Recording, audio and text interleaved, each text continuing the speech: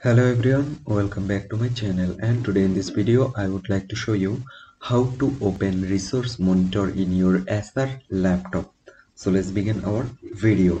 So guys if you want to open a, a open resource monitor in your Acer laptop so what should you do?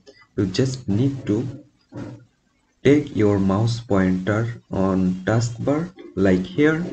Now right click on your mouse and after that you can see there have a option pop-up menu. You need to select task manager. Just select this task manager.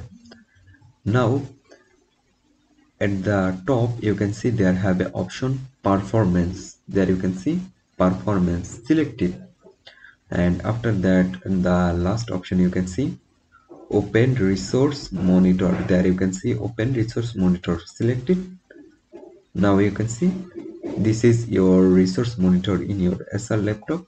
So guys in this way you can open resource monitor in your Acer laptop.